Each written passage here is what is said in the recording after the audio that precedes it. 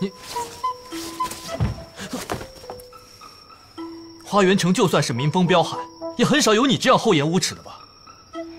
我这样，咱俩算扯平了吧？这，这怎么能一样呢？哦，也对，你今天还被当众围观了。好，那我去大街上走一圈。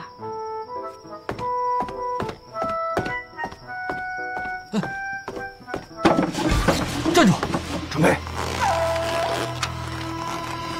你好歹也是我名誉上的妻子，穿成这样上街去，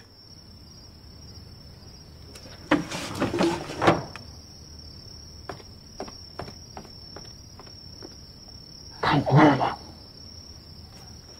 嗯，那你说怎么办？我，唉，我再脱一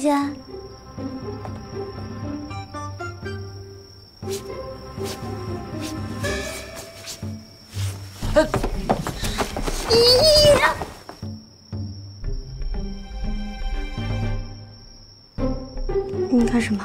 难道少君要亲自动手？流氓！我流氓！我什么都没干，我……你乱喊什么？简直贼喊捉贼！怎么办？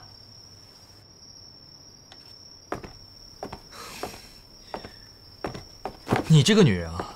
第一次在街上见面就对我勾勾搭搭的，自己贪好美色，还带着我一起逛青楼，见了裴恒又难以自持，跟他有扯不清的瓜葛。哼，你腹中这孽种，保不齐就是他的吧？啊？你屡犯七出之罪，荒唐无度，不守妇道，生性放放。你怎么还有手工纱呢？哟，这还有两副面孔呢！啊，冷酷无情、娇羞无措，都让你一个人演了是吧？手工纱怎么了？有什么问题吗？大惊小怪。不，你你你没有身孕啊？这不是得骗母亲说我有身孕才能救你出来吗？你为了救我，竟然……不顾自己的名节，名节跟人命，当然是人命重要。我是真心想救你的。再说了，我这民间能值几个钱？也是，三公主若如同传闻中的一样，这名声不要也罢。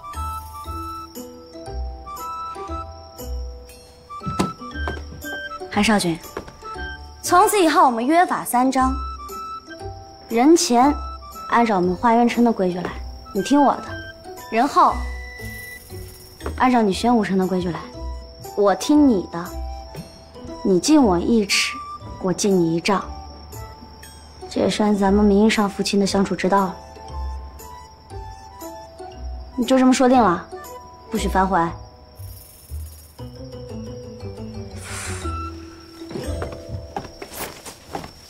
哎，站住！又怎么了？把衣服穿上再出去。这算什么？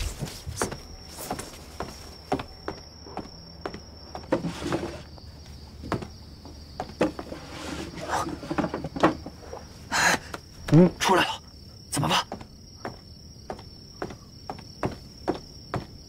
准备，老公准备。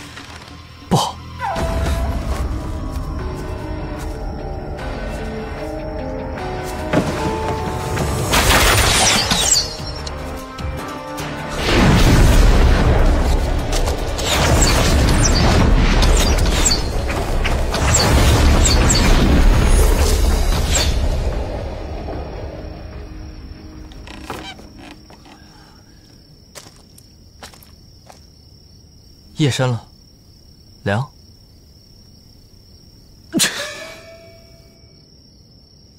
嗯，好。